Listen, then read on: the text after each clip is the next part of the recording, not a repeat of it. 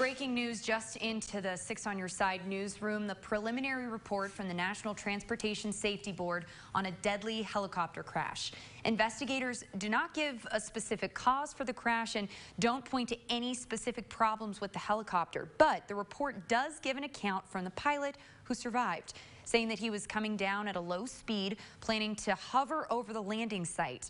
But the helicopter continued to descend, hitting the water, first with its skid and then with its rotor.